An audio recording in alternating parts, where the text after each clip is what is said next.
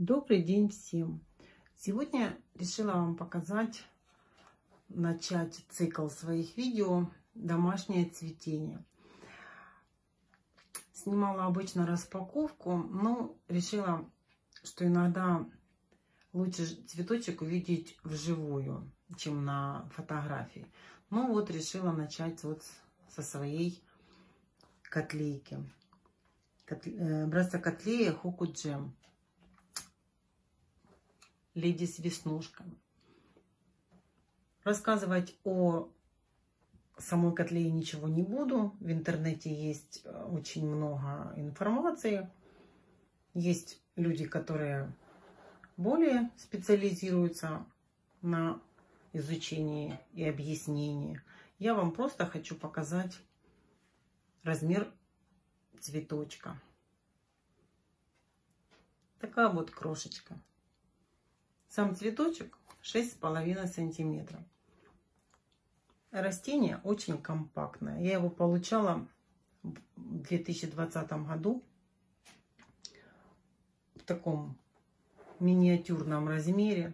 Ну, хочу сказать, не жадная котлейка на цветение. Это у нас вот было первое цветение. Это второе домашнее цветение.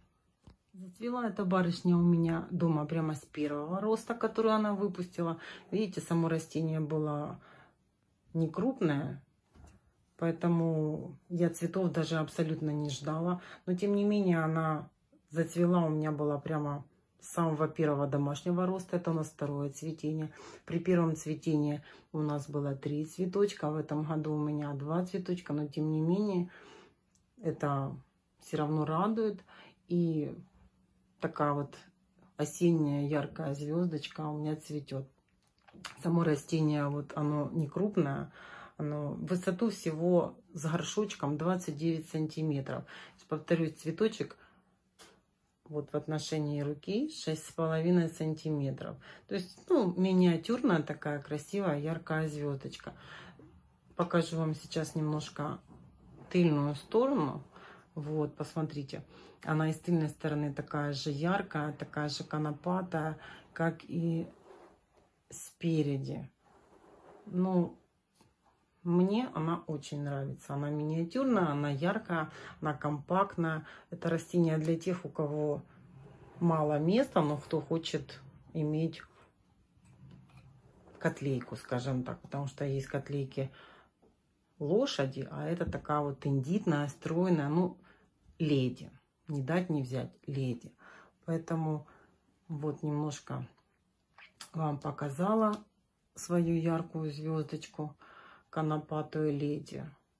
Возможно, кому-то мое видео пригодится в том плане, что поможет определиться, хотите вы себе такую барышню или не хотите. Но я не жалею. Вот. Ну, хочу добавить, э, возможно, у кого-то а, она и с ароматом.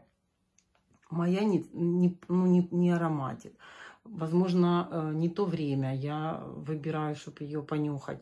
Возможно, она действительно без аромата.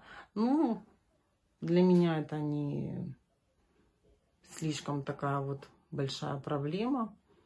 Главное, вот для меня главное, чтобы она цвела принципе, и все цветы, чтобы цвели. Поэтому как-то так.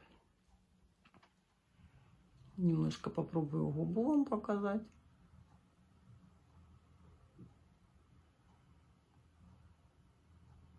Ну, собственно, и все. Цветочек я вам показала, немножко рассказала о габаритах, о самом растении. Поэтому всего вам хорошего. До свидания.